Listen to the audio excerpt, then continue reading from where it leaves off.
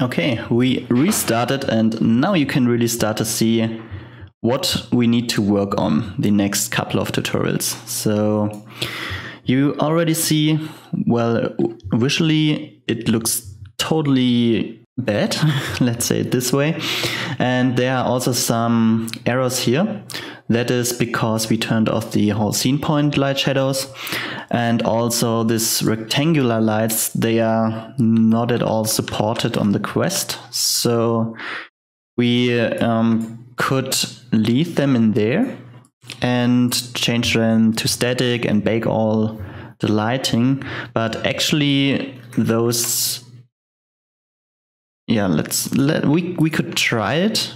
But from the experience I did last time, this is uh, like really, really bad. It um, it blows up our our light baking time, and also the settings are not at all for static lighting. They are for ray traced um, environment. So I would recommend not using them. Let's delete them. Yes to all. Also, this one here, we can we can um, keep it, but let's move it a little bit in there so it gets a better better shadow casting. And also we make to turn this to static so we can bake it let's crank it up. And if I think about it now, let's let's also delete it. We use a spotlight, it's much more efficient. And in the end, this this um, this object here basically is uh, perfect for a spotlight. So let's. Oh no, sorry, no direction light. I want to use the spotlight in there. Let's put it in there.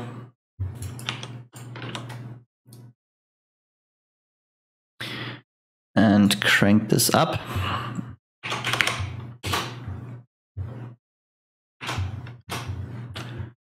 Something like this. And give this a nice temperature. Something warm. The next step is our direction light. We need to keep this. Let's find an interesting angle. I don't want to um, spot the point light on the TV. This way you would get a very um, bright light map there. And I want to show our video on there, so let's change the angle a bit. Something like this. So now we have some interesting shadow going on here and there, also on this side here. That is good. And let's see what we can get rid of. So we don't want to have the post-process volume in there. We don't want to have the fog. The reflection capture is okay. Let's see, do we have any other lights in there? No, we don't, but we would want to have a skylight. So let's get a skylight.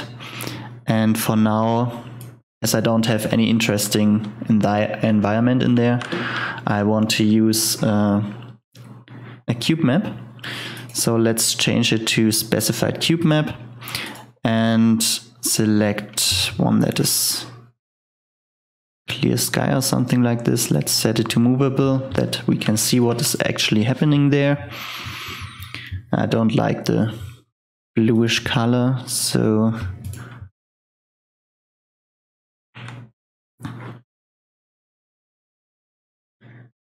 So let's try TQ map 01.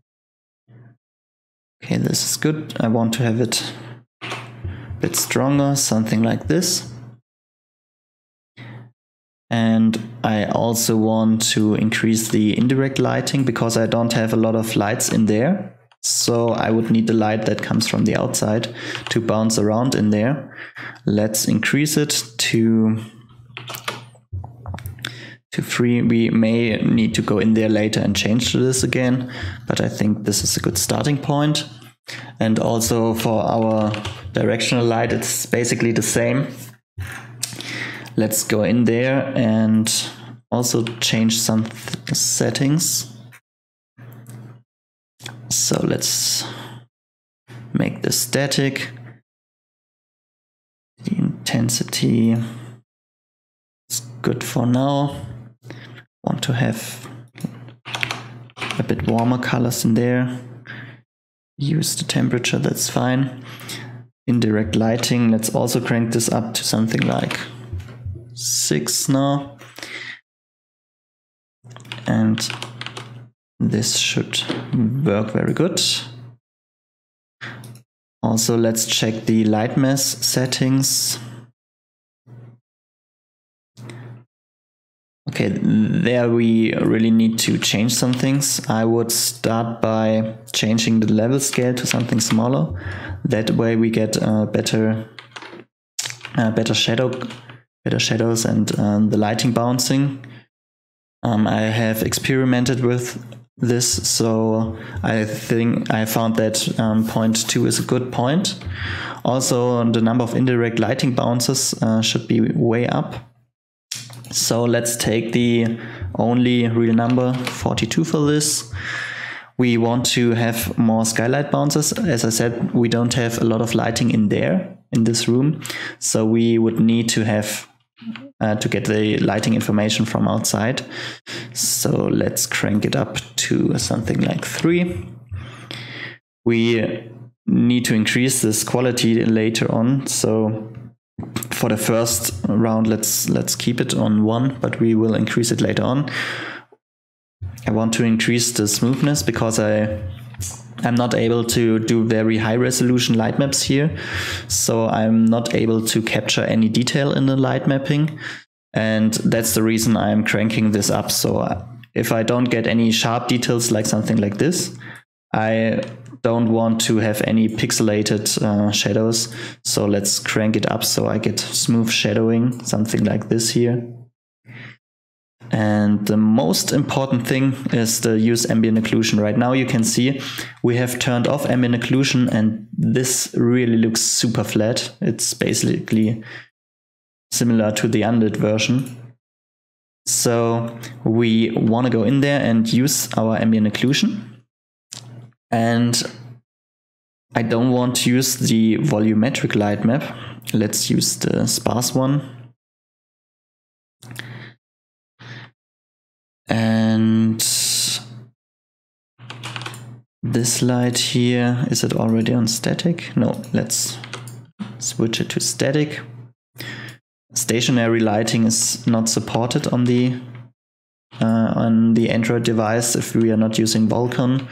What we are not doing, so let's keep this off right now. And for those two, that's our only dynamic lighting we will have because we need to turn this on and off. So we will integrate that functionality later. But I think for now, this doesn't look bad as a starting point. And we have some very basic lighting in here.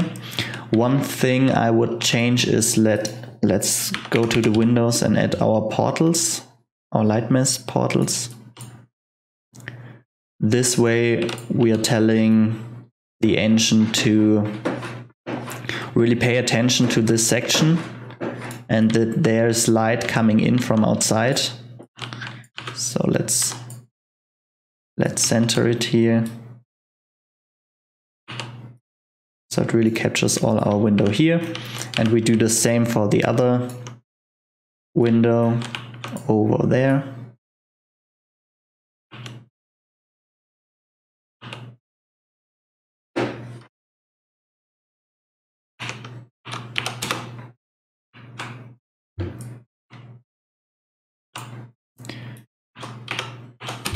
Something like this. And while we're in there, let's also add our light mass, importance volume, and adjust it to the actual room.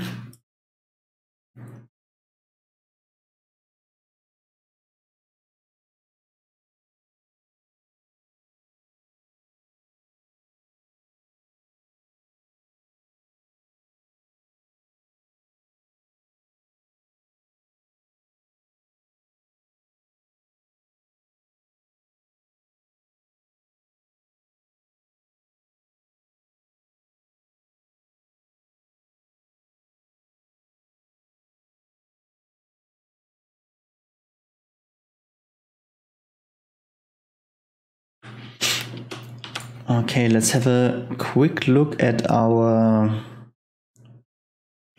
light map density and you can see this is not working at all. So we really need to increase the size of the walls and the floor, so of the building. We need to decrease on those surfaces here.